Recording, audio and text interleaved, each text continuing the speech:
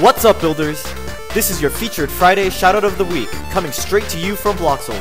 And this week's shoutout goes out to JJ for his game Allesj, located on the Infinity Wall at coordinates negative 27, 41. With three distinct levels, Allesj brings you on a traditional platformer journey that requires a lot of skill, precision, and close observation.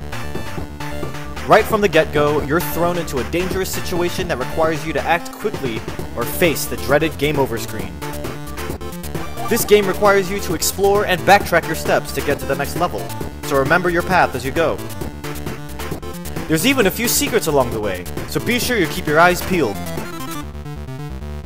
Awesome game, JJ.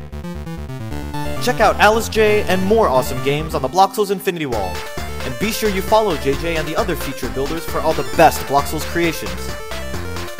Want to be featured by Bloxels? Comment your Infinity Wall coordinates below, and be sure you click the subscribe button for all the latest and greatest from Bloxels.